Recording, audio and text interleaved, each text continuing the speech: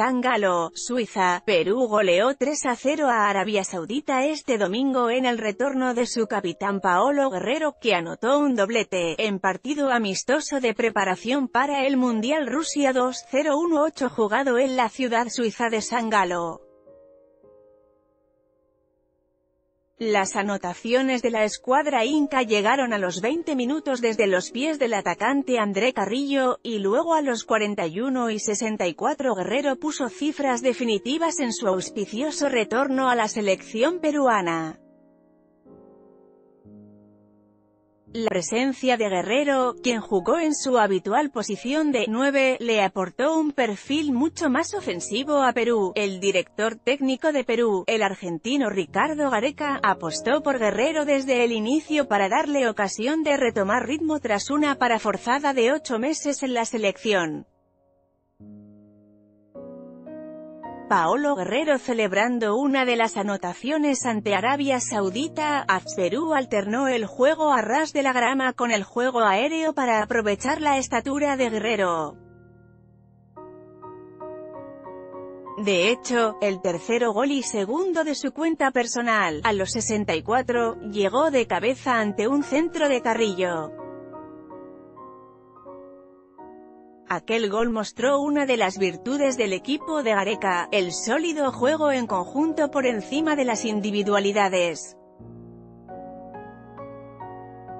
El elenco inca estuvo muy cerca de anotar un cuarto tanto a los 78 minutos, un remate del recién ingresado Sergio Peña arañó el madero derecho tras empalmar un centro de Jefferson Farfán.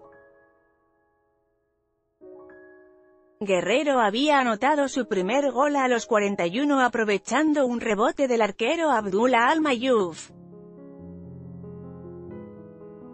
El primer gol cayó temprano, a los 20 cuando Carrillo paró de pecho el balón y soltó un zapatazo de media distancia que hizo inútil la acción del portero saudí. Los sauditas, dirigidos por el también argentino Juan Antonio Pichi, tuvieron su mejor momento a los 14 minutos cuando un disparo de larga distancia de Al Buraik pasó cerca.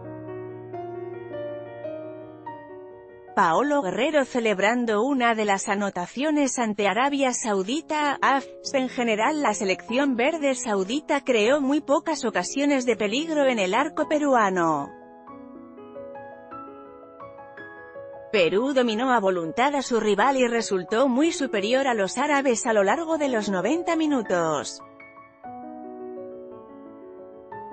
Guerrero quedó habilitado para volver a las canchas hace una semana cuando el Tribunal Federal Suizo aceptó una medida cautelar del peruano y le levantó temporalmente una suspensión de 14 meses por dopaje del Tribunal Arbitral del Deporte, TAS. Lo de Paolo fue muy emotivo, me pone muy contento, declaró a la prensa Gareca al final del partido. El encuentro se disputó en el estadio AFG Arena de San Galo, con capacidad para 20.000 aficionados y colmado por simpatizantes peruanos que vestían la camiseta blanquirroja de su selección.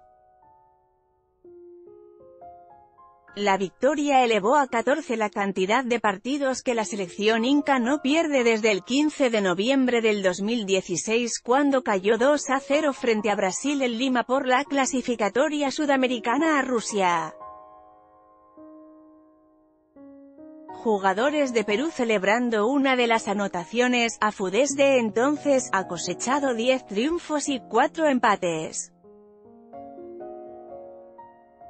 Perú disputará su último amistoso previo al Mundial frente a Suecia en Gotemburgo, el 9 de junio. Perú debutará en el Mundial el 16 de junio ante Dinamarca, en Saransk.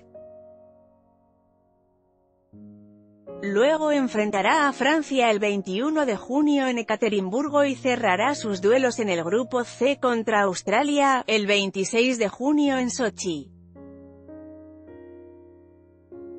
La selección de Arabia Saudita inaugura el Mundial ante el anfitrión Rusia, el 14 de junio en Moscú. Los hijos del desierto, suman dos triunfos al hilo ante Argelia y Grecia con resultado de 2 a 0, y luego dos derrotas ante Italia 2 a 1 y Perú 3 a 0. El 8 de junio, Arabia Saudita se enfrentará al campeón del mundo, Alemania, en el estadio Bayarena en Leverkusen. Jugadores de Perú celebrando una de las anotaciones, AFU después de abrir el Mundial ante Rusia. Arabia Saudita jugará ante Egipto y Uruguay en el Grupo A. Esta nota incluye información de AFP en esta nota.